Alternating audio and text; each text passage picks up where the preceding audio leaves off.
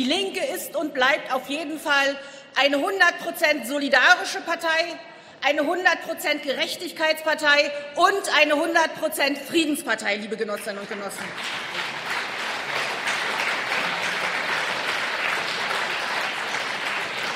Was wollen wir mit dem Programm eigentlich? Wollen wir mit dem Programm eine Pflicht erfüllen, die uns das Parteiengesetz auferlegt? Wollen wir mit dem Programm an der vordersten Front der Wissenschaft mitmischen und theoretische Durchbrüche erzielen? Oder wollen wir Grundsatzfragen, die die Linken seit Marx immer wieder diskutieren, neu formulieren, beantworten oder verwerfen?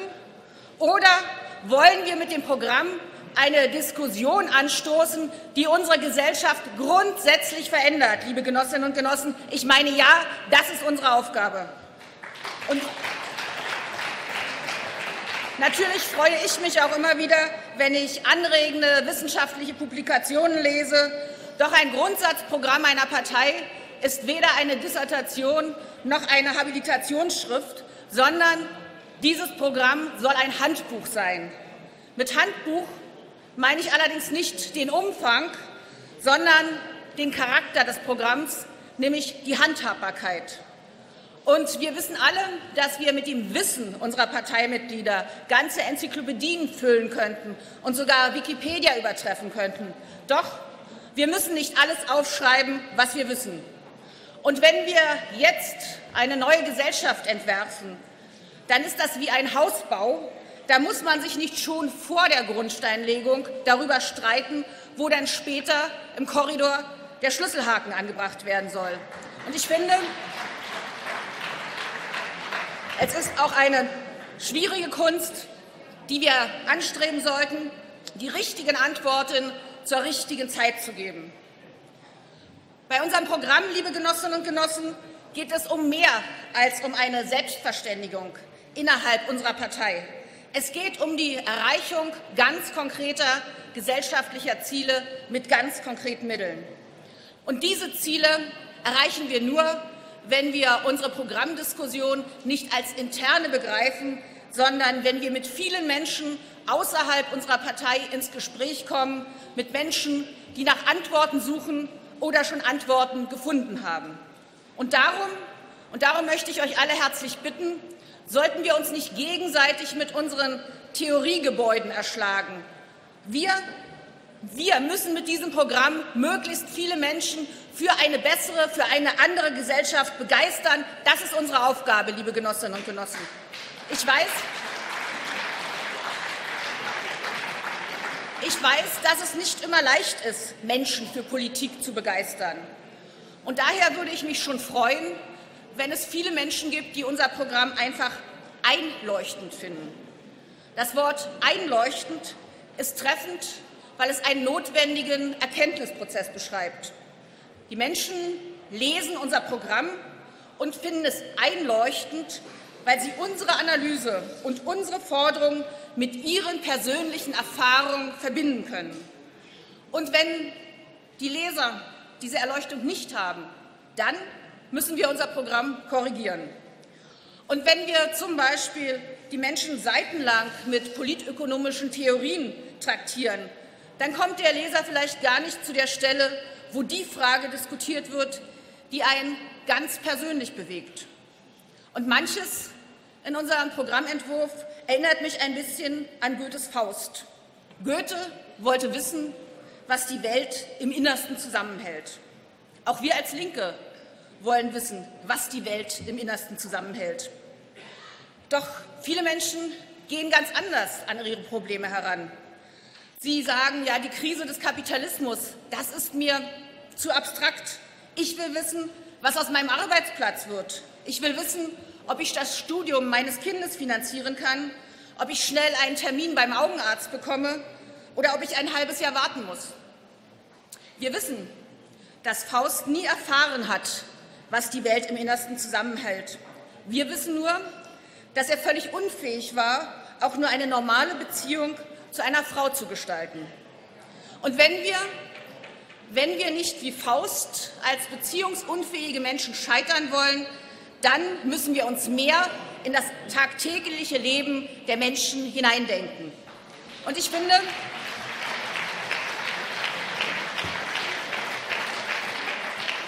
die wichtigste Frage, die wir an unserem Programmentwurf stellen, heißt, wie wollen wir leben? Genau diese Frage stellt sich jeder Mensch mehrmals im Leben und er muss sie auch mehrmals entscheiden. Und wenn wir diese Frage ernst nehmen, dann kann unser Programm eine echte Lebenshilfe für viele Menschen sein. Und darum müssen wir die Frage, wie wollen wir leben, in den Mittelpunkt unseres Programms stellen und unserer Debatte. Wie wollen wir leben? Die Menschen wollen ein angstfreies Leben. Das heißt, sie wollen in Frieden leben, sie wollen ihre Grundbedürfnisse befriedigen können und sie wollen frei von Krankheiten sein. Wir analysieren unsere Welt und unsere Gesellschaft und stellen fest, Krieg und Gewalt werden noch immer als Mittel der Politik praktiziert, in Demokratien und in Diktaturen akzeptiert. Und in Deutschland werden massenhaft Waffen für diese Kriege entwickelt, gebaut und exportiert. Das macht vielen Menschen Angst und darum müssen wir dagegen kämpfen. In dieser Welt können viele Menschen ihre Grundbedürfnisse nicht befriedigen. Sie haben kein sauberes Wasser, kein giftfreies Essen und kein Dach über dem Kopf. Und auch hier in Deutschland gibt es immer mehr Menschen, vor allem Kinder, die in Armut leben müssen und nicht ihre Grundbedürfnisse befriedigen können. Das macht vielen Menschen Angst. Und viele haben auch nicht das Geld für Medikamente, die sie brauchen, um sich vor den einfachsten Krankheiten zu schützen. In Deutschland gibt es immer mehr, die fürchten, dass sie eines Tages die Medikamente nicht bezahlen können und keine angemessene ärztliche Betreuung erhalten. Die Linke ist die einzige Partei, die aufzeigt, dass die Gesellschaft, in der wir leben, täglich Angst produziert. Diese Angstproduktion ist ein Lebenselixier dieser Gesellschaft, in der wir gezwungen sind zu leben. Augenscheinlich ist Angst notwendig, um den Kapitalismus am Laufen zu halten. Und nicht nur,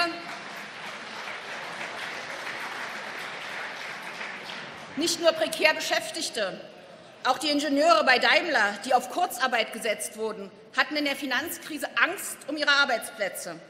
Und Hartz IV ist eine permanente Bedrohung gegen alle lohnabhängig Beschäftigten.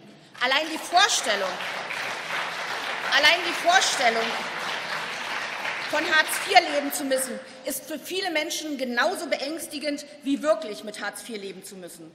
Und wer nicht spurt in dieser Gesellschaft, wer Mitbestimmung einfordert oder sogar für sein Recht streiken will, der landet schnell in Hartz IV. Der wird ausgegrenzt, der gehört nicht mehr in diese Gesellschaft. Und in Deutschland gibt es seit der Schröder-Fischer-Regierung den größten Niedriglohnsektor Europas. Deutschland ist Weltmeister an prekärer Beschäftigung. Welche Schande!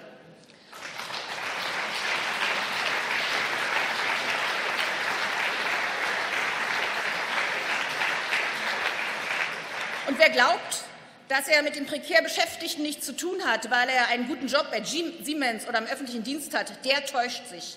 Und wir müssen in unserem Programm, glaube ich, noch deutlicher machen, dass prekäre Beschäftigung über diese prekären Verhältnisse hinausragen, die Gesellschaft insgesamt verändern und zu prekären Umgangsformen führen, zu Hass, zu Diskriminierung, zu Ausgrenzung und Gewalt. Wir, wir als Linke, wir können den Menschen nicht den Himmel auf Erden versprechen. Das glaubt uns auch keiner. Aber wir können sagen, dass wir eine Gesellschaft wollen, in der jeder, ob Frau, Mann, Kind, Rentner, Hiergeborener oder Migrant, angstfrei leben kann. Ist das zu viel verlangt, liebe Genossinnen und Genossen? Wer will da widersprechen? Nein, so eine Gesellschaft ist machbar. Es gibt,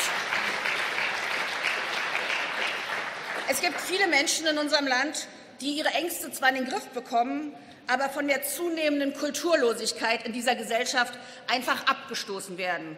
Die Menschen wollen kulturvoll leben. Was geht in den Köpfen von Rentnern und Schülern vor, die gegen Stuttgart 21 protestiert haben und von Wasserwerfern beschossen und von Polizisten in den Würge genommen wurden?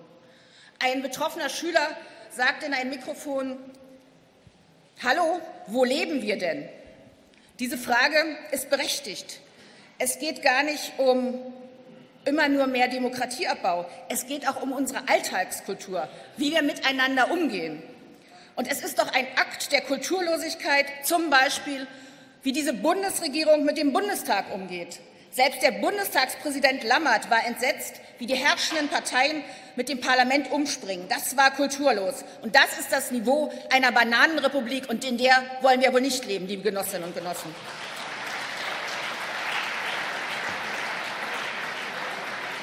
Und es ist doch ein Akt der Kulturlosigkeit, wie herablassend und selbstherrlich der RWE-Vorstandsvorsitzende Grossmann mit der Bundesregierung umspringt, als ob die vier Stromkonzerne Besatzungsmächte in unserem Land wären. Das ist einer Demokratie unwürdig. Und Und es ist doch ein Akt der Kulturlosigkeit, dass in diesem Land erlaubt ist, Menschen nach 30-jähriger Beschäftigung einfach auf die Straße zu setzen weil sie Maultaschen, die für den Mülleimer gedacht waren, mit nach Hause nehmen, um sie zu essen. Müssten nicht eigentlich die bestraft werden, die Lebensmittel vernichten, statt sie Bedürftigen zu überlassen? Das ist doch kulturlos. Das ist menschenverachtend.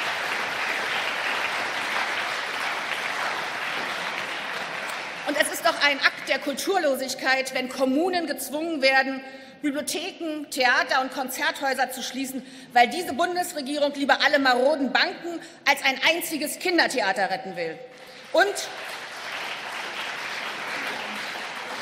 Und es ist ein Akt größter Kulturlosigkeit, dass junge Menschen von der Bundesregierung in einen Krieg geschickt werden, um auf unschuldige Menschen zu schießen.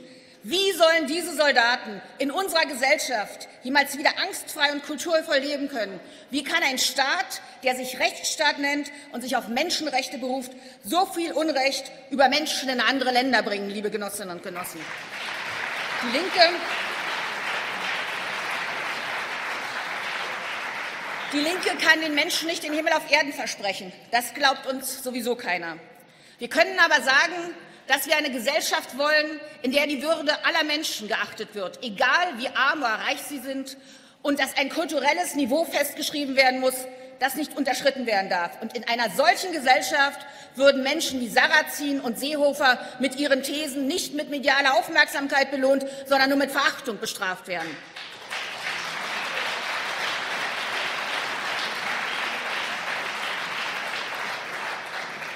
Ist ein kulturvolles Leben zu viel verlangt? Wer will da widersprechen? Nein, ich denke, so eine Gesellschaft ist machbar. Aber selbst ein kulturvolles und angstfreies Leben reicht mir nicht. Ich will auch, dass möglichst viele Menschen glücklich leben. In der Unabhängigkeitserklärung der Vereinigten Staaten von Amerika, die am 4. Juli 1776 verabschiedet wurde, in der Declaration of Independence, wurde sogar das Streben nach dem Glück festgeschrieben, The Pursuit of Happiness. Bemerkenswert ist allerdings, zahlreiche Studien zeigen, dass gerade in den USA die Wahrscheinlichkeit, glücklich zu werden, geringer ist als in anderen Ländern. Und in dem Buch von Wilkinson und Pickett, Gleichheit ist Glück, warum gerechte Gesellschaften für alle besser sind, finden wir unsere Programmthesen wissenschaftlich belegt. Ist es nicht bemerkenswert, dass die Lebenserwartung eines Neugeborenen in Griechenland höher ist als in den USA, obwohl in den USA durchschnittlich pro Kopf wesentlich, aber eben nur durchschnittlich, wesentlich mehr Geld für Gesundheit ausgegeben wird als in Griechenland? Die Autoren dieses Buches weisen nach, dass in Staaten, in denen gesellschaftliche Unterschiede so gravierend sind, wie zum Beispiel in den USA, alle Bürger, alle letztendlich schlechtere Voraussetzungen haben, glücklich zu werden, als in Gesellschaften wie zum Beispiel Finnland oder Schweden, in denen die sozialen Unterschiede wesentlich geringer sind. Die Linke kann den Menschen nicht den Himmel auf Erden versprechen. Das glaubt uns sowieso keiner. Aber wir können sagen, dass wir eine Gesellschaft wollen, in der nicht Ungleichheit, sondern mehr Gleichheit produziert wird. Ist das etwas zu viel verlangt, liebe Genossinnen und Genossen? Ich finde, dass wir die Frage, wie wir leben wollen, sehr einleuchtend für viele Menschen in unterschiedlichen Lebenssituationen beantworten müssen. Ich sprach vor kurzem mit einem Ingenieur, verheiratet, zwei Kinder, katholisch. Er arbeitet in einem chemischen Betrieb und verdient gutes Geld. Sein Problem ist, dass er durch und durch grün denkt, aber für ein energieintensives Unternehmen arbeitet, welches seine grüne Lebensweise konterkariert. Dieser Konflikt lässt immer noch ein kulturvolles Leben zu, ein ausgewogenes, glückliches, aber nur schwer. Die Hoffnung, die nun viele Menschen mit den Grünen verbinden, ist, dass sie das Unmögliche möglich machen, die Versöhnung von Kapitalismus und Natur. Wir als Linke können diese Verheißung nicht verkünden, weil wir wissen, dass Kapitalismus Verwertung von Kapital erzwingt und Raubbau an der Natur einschließt. Und das wollen wir nicht.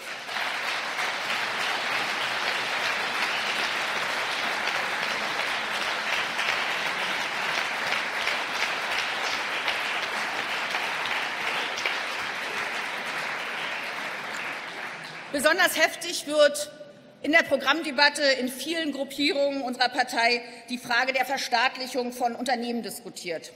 Und ich glaube, wir sind uns alle einig, dass wir öffentliche Unternehmen, die für ein Appel und ein Ei privatisiert wurden, wieder in öffentliche umwandeln wollen, wie zum Beispiel die monopolistischen Stromerzeuger. Und natürlich müssen Banken Natürlich müssen Banken, die sich als Casino verstehen, geschlossen oder verstaatlicht werden. Ich finde, die Frage der Verstaatlichung ist untrennbar verbunden mit der Frage der Demokratisierung der Gesellschaft. Wir wollen in unserer Gesellschaft keine demokratiefreien Zonen zulassen. Und es geht nicht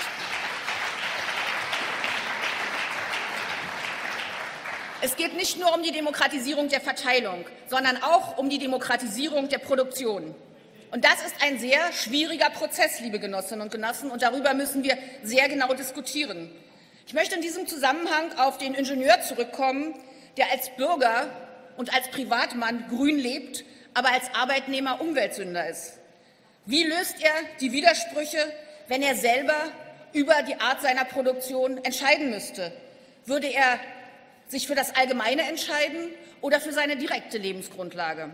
Und vor diesem Widerspruch, liebe Genossinnen und Genossen, stehen Millionen Menschen in unserem Land, die zum Beispiel in der Rüstungs-, in der Automobil-, in der Atom-, in der Kohle- und in der chemischen Industrie arbeiten. Und wir müssen darauf achten, dass wir diese Frage sorgfältig diskutieren und dass wir erkennen, wie wir mit diesen Menschen reden können, ihnen Angebote machen können und sie nicht Besserwirscheres belehren, liebe Genossinnen und Genossen.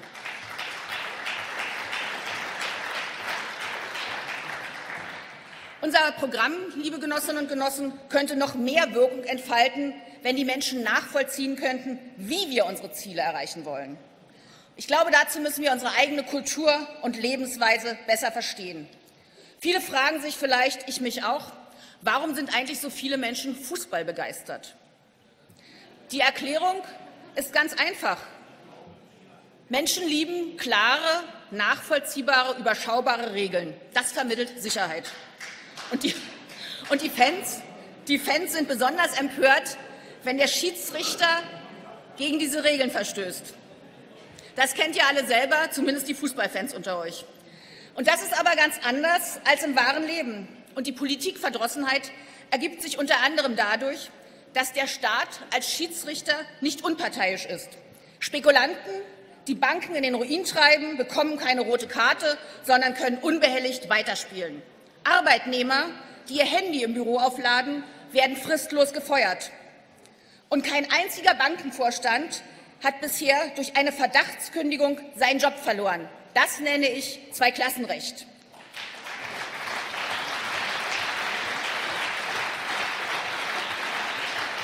Liebe Genossinnen und Genossen, diese unterschiedliche und willkürliche Anwendung der Regeln empfiehlen viele Menschen als ungerecht. Ein erster Schritt zu mehr Gerechtigkeit und mehr Demokratie muss also darin bestehen, dass für alle Menschen in unserem Land die gleichen Regeln gelten, egal ob sie arm, reich, Mann, Frau sind, egal ob sie hier geboren sind oder zugewandert. Und wenn wir das erreicht haben, dann haben wir bereits im Ansatz sozialistische Verhältnisse. Und dann, und das ist die entscheidende Frage, dann sind die Menschen auch bereit, über Regelveränderungen mit uns zu reden. Denn die Linke, machen wir uns doch nichts vor, die Linke macht vielen Menschen noch Angst, weil sie mit uns Regellosigkeit und sogar Gewalt und Anarchie verbinden. Und diese Angst wird von einigen Medien mit Begeisterung geschürt. Wir müssen also beweisen, dass sozialistische Transformationsprozesse mit klaren Regeln verbunden sind, die auch durch das Grundgesetz gedeckt sind. Anders werden wir die Menschen für unsere Ziele nicht gewinnen können.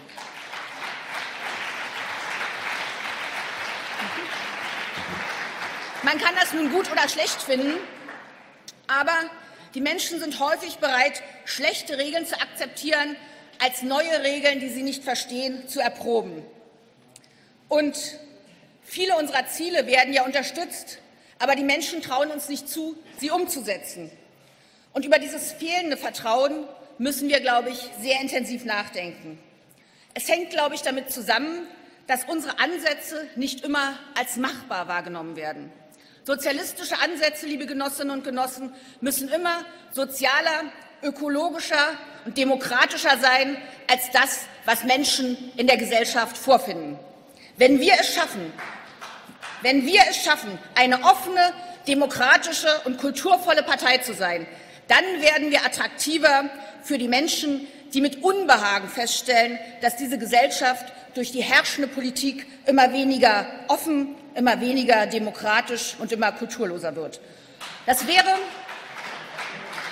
und das wäre eine große Gefahr für die neoliberalen Parteien in unserem Land, die nichts mehr fürchten als eine Partei, die offen, ehrlich, demokratisch und kulturvoll ist. Und darum sage ich auch, wer unser Programm liest, der muss Freiheit einatmen und nicht misstrauen. Und wir müssen aufpassen, dass wir unser Programm nicht in einer Weise genutzt wird, dass sich alle gegen alles absichern wollen, weil sie sich gegenseitig nicht über den Weg trauen. Ich gehe zum Beispiel davon aus, dass jede Genossin und jeder Genosse, der in Koalitionsverhandlungen eintritt, dem Buchstaben und dem Geist des Programmes folgen wird. Wer aber meint, dass er in einem Programm, das zehn Jahre Gültigkeit haben soll, alle Lebenslagen, alle Krisen, alle Verwerfungen schon jetzt regeln kann, der unterschätzt die Eigendynamik der Politik. Ich habe, ich habe mir mal den Spaß gemacht und mir die Grundsatzprogramme von SPD und Grünen angeschaut. Und ich habe im SPD-Grundsatzprogramm von 2007 nach folgenden Begriffen gesucht. Finanzkrise, Niedriglohnsektor, Fehler, Spekulanten, Kinderarmut. Immer null Treffer. Die SPD hätte ein Jahr später mit der globalen Finanzkrise ihr Grundsatzprogramm entsorgen müssen. Nur ist das nicht mein Problem. Und auch in den 171 langen, Seiten langen Grundsatzprogramm der Grünen vom Jahr 2002 kommen die Stichworte Kapitalismus und Finanzkrise jeweils einmal vor. Man könnte meinen, die Grünen haben ihren Frieden mit dem Kapitalismus geschlossen. Das scheint ja auch so zu sein. Und ohne Frage und ohne Frage ist unser Programmentwurf jetzt schon besser als die Programme von SPD und Grünen zusammen. Das heißt jedoch nicht, dass wir unseren eigenen Programmentwurf nicht noch besser machen könnten. Wir sollten uns also heute darauf einigen, dass die erste Stufe der Programmdiskussion, die interne Diskussion, beendet ist und jetzt die zweite Stufe, die öffentliche Diskussion, beginnt, damit, wie Marx gesagt hat, die Theorie zur materiellen Gewalt wird.